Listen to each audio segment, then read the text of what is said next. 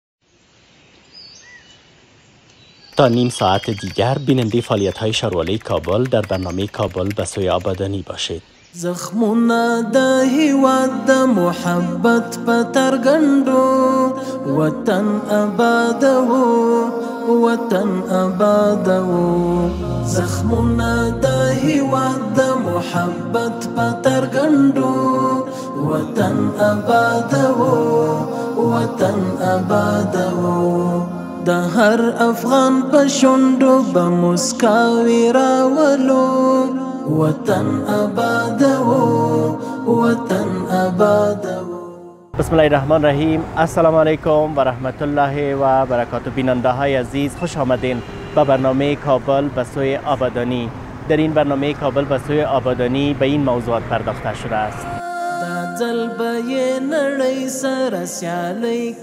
استقبال شهروندان کابل از ساخت پیاده روهای متعدد در شهر ما شهروالی کابل بسیار خوش هستیم که پیاده رو ساخته با این حال بی توجهی برخی از شهروندان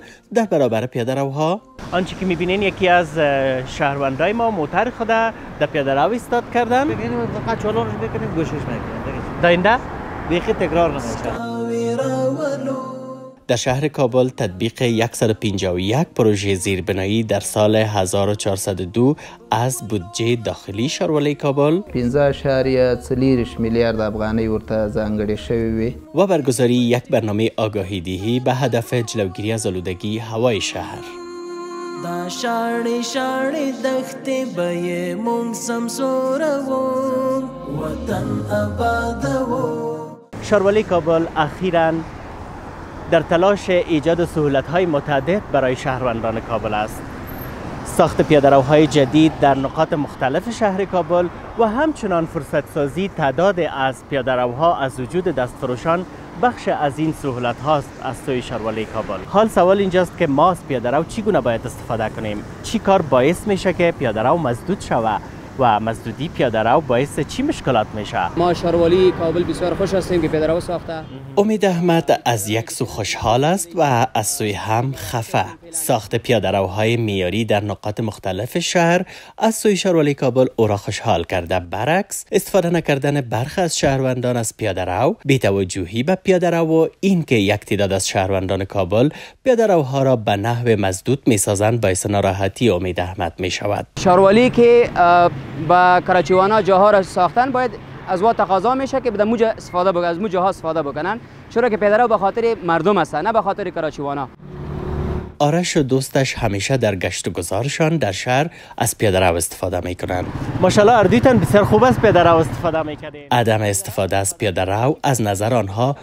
دور از خطر نیست اما گاهی که پیاده رو مسدود می باشد آنها ناگزیر می شوند به سرک بروند. استفاده کردن از پیاده رو بسیار خوب است بخاطر چون که او طرف سرک است باید این قانون مردم ما و شما مراعات بکنند اینجا بسیار فضای خوب هم است هم بر بایسکل رو جور کردن و هم بر موتر رو پیاده رو جای نیست که باید از کراچی استفاده شود و از اینا پیاده رو باید از خود از این شهروندا تیر بیر شود نباید کراچی استفاده شود تنظیم خوب کردن سرک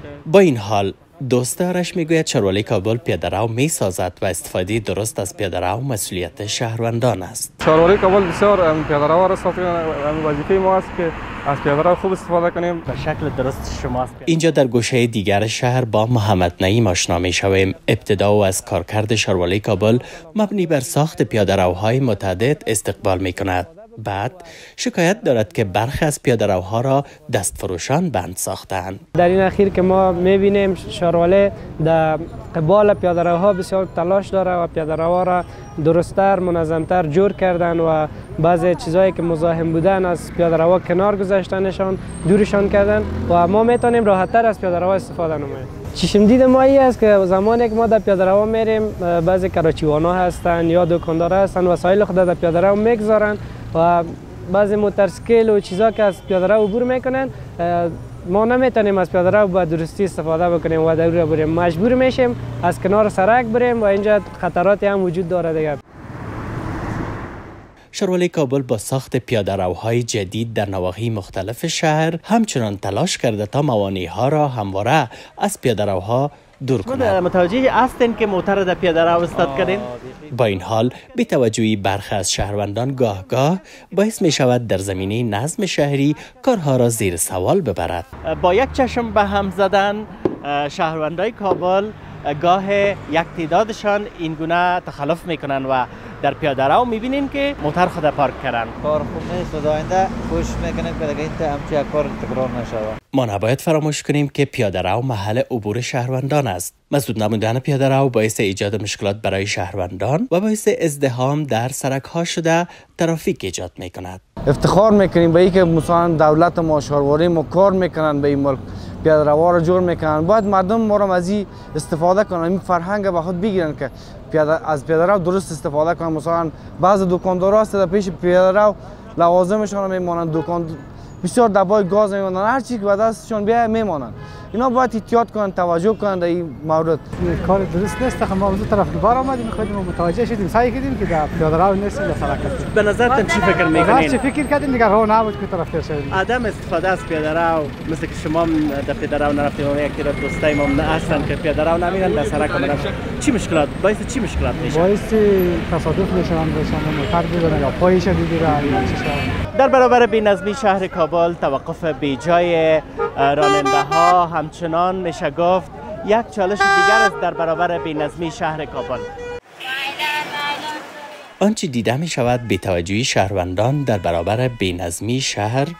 به تاثیر نیست و گاه می شود گفت کار مسئولان حکومتی را زیر سوال می برد. اینجا در وزارت ترانسپورت و هوانوردی مسئولان میگویند به هدف فراهم آوری نظم بهتر شهری کارهای انجام دادن اما اینکه برخ نقاط شهر گاه نشان دهنده بینظمی در شهر است بیتوجهی شهروندان را نشان میدهد د ښاري تنظیم لپاره موږ دوولس لوی سټیشنونه د کابل ښار په منځ کې لرو. د دې سټیشنونو د تنظیم، د موټرو د نوبت سیستم، د موټرو د تنظیم لپاره د دوی د تقسیم اوقات باندې تګ او راتګ لپاره اقدام شوی ده. درې سوه نوي کارکوونکي مو ګمارلي دي چې ښاري کنټرولران دي، د ترانسپورټ کنټرولران دي، عملاً په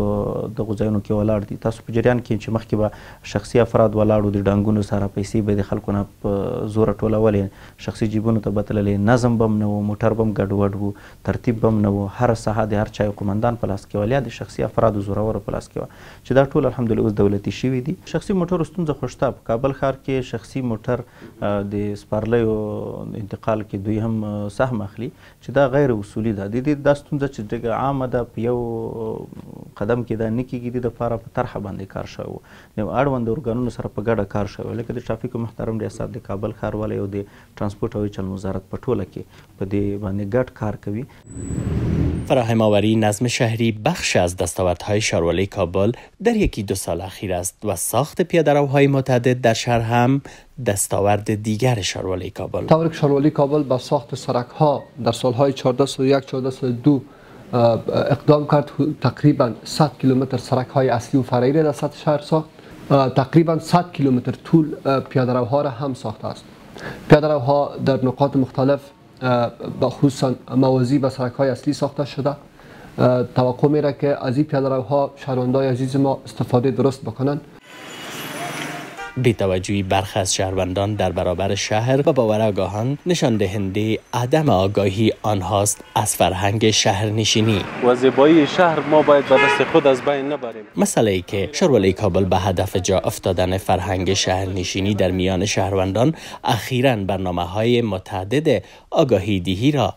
بیشتر ساخته است. ما نباید فراموش کنیم که شهر خوب شهروند خوب می خواهد.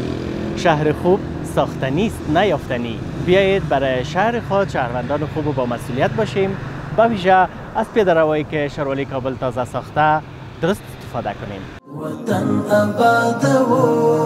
وطن ابادوو. کابل ښاروالۍ روان کال د کابل ښار په کچه ګڼ شمېر پروژې پلان او پلې کړې دي. دا چې دا پروژې په کومو برخو کې وې او له ډلې څومره پلې شوې دي او د څومره پروژو چارې روانې دي، په دې اړه د کابل ښاروالۍ د پروګرامونو او پروژو د تنظیم له رئیس ښاغلي میررحمان ناصري سره مرکه لرو. هیله من یو تر پایه مو ملتیا وکړئ.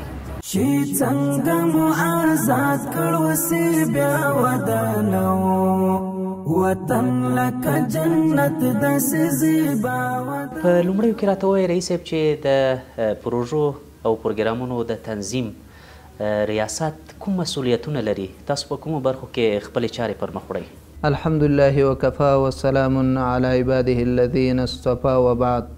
بسم الله الرحمن الرحیم لکه څرنګه چې تاسو پوهیږی د کابل ښاروالۍ څومره پروژې چې دي د هغې کله چې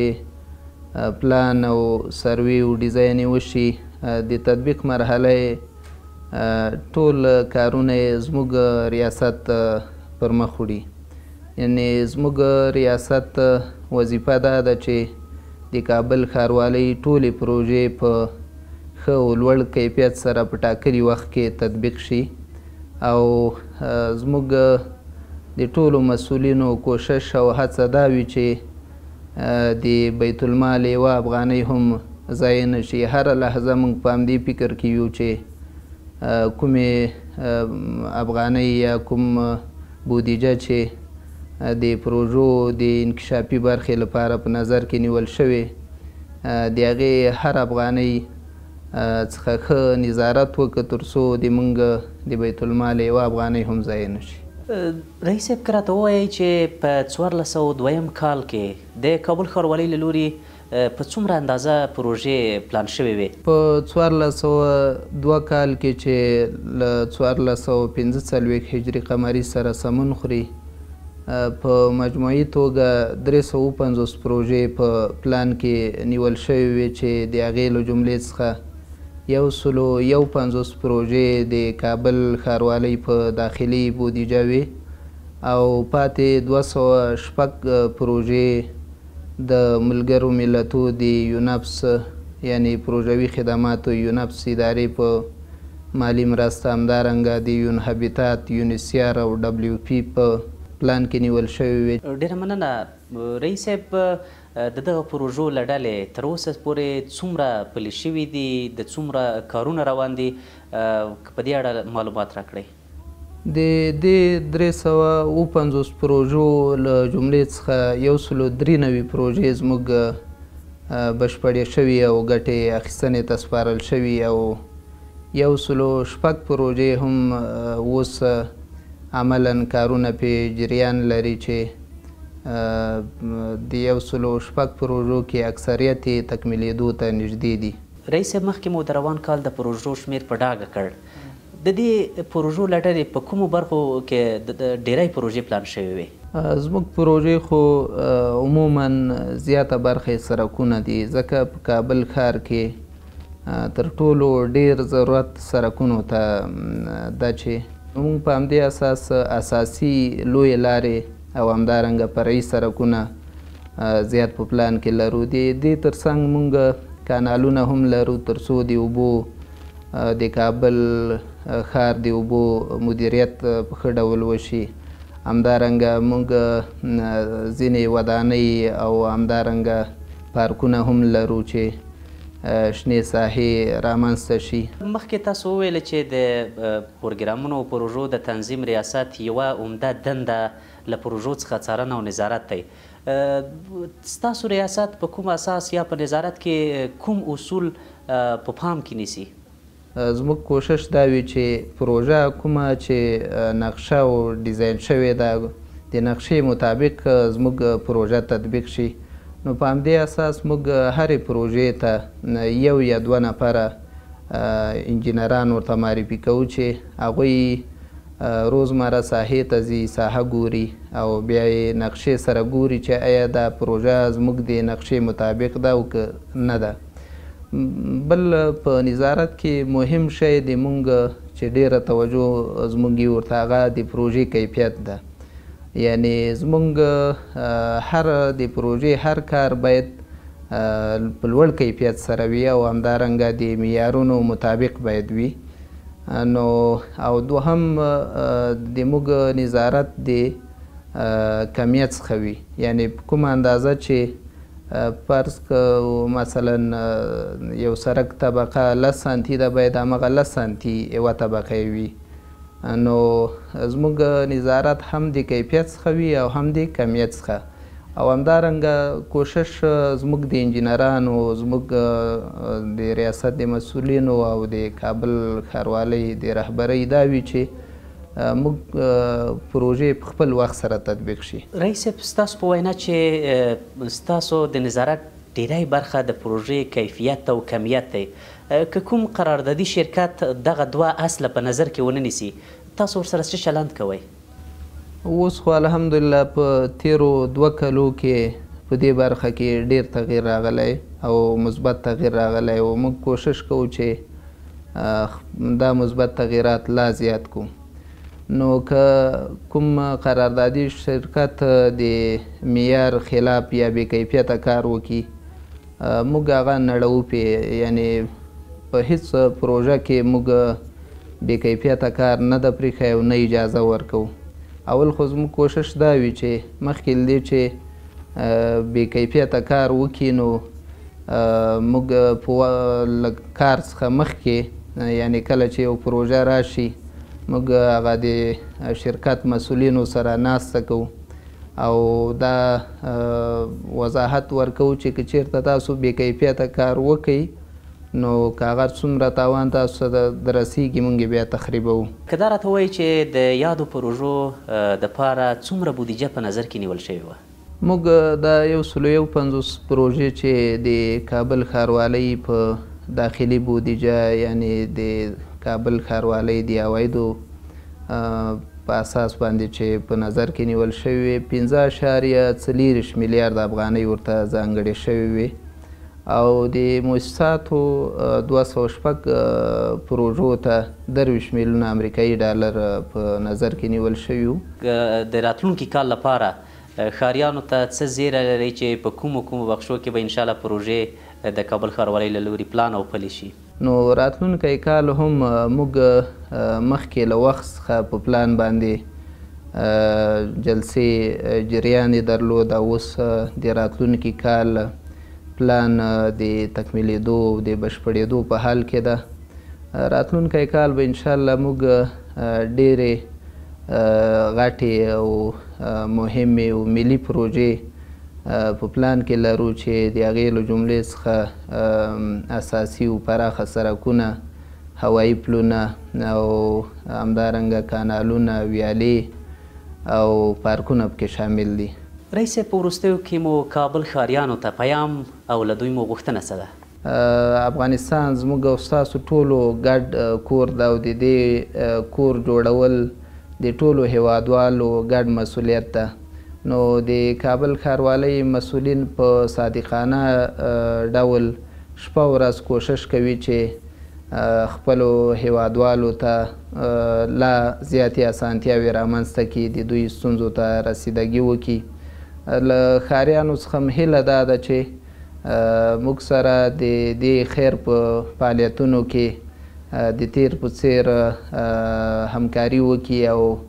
لا خپله همکاري زیاته کړي، همدارنګه د ټولو زیربناوي او همدارنګه د تاسیساتو، سرکونو، پلونو او کانالونو په ساتنه کې او مراقبت کې موږ سره د تېر په څېر مرسته وکړي. ډېره مننه.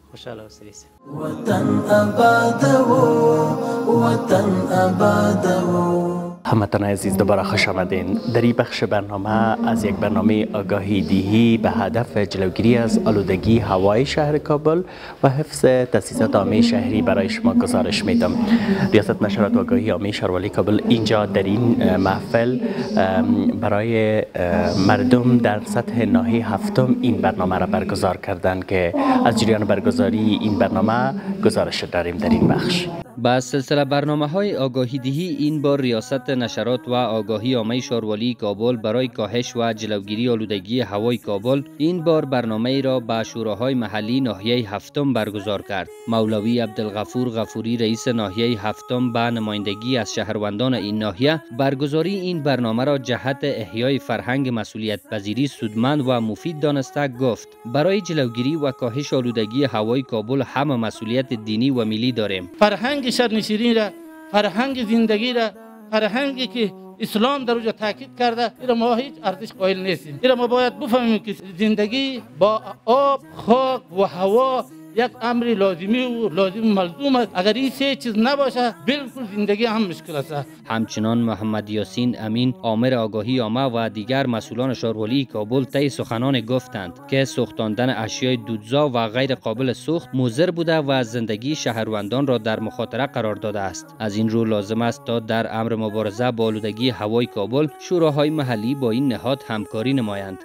هر یو به جان مکلف و مسئول گنی، چې یو داعی ووسی د ښار د ښکلا، د ښار د امنیت، د ښار د اطمینان، ډاډ او سکون په خاطر باندې به هر یو لارښوونه کوي، بالاخره به موږ او تاسې ټول خوشاله وو، د ناروغیو نه به بچ وو، رب العالمین به راضي وي، الطهور شطر الایمان، نظافت جز د ایمان دی، موږ او تاسې لکه څنګه چې خپلې جامې پاکوو، خپل ځان او وجود پاکوو، خپل کور پاکوو، در به هم پاکو در همین حال نمایندگان شوراهای محلی ناحیه متذکره تعهد سپردند که از سوختاندن مواد دودزا و آلاینده خودداری خواهد شد و مسئولان صحت محیطی و محیط زیست شاروالی کابل را در قسمت کنترل و نظارت از فعال بودن فلتر تصفیه دود سیستم مرکزگرمی ساختمان ها دست یاری خواهند داد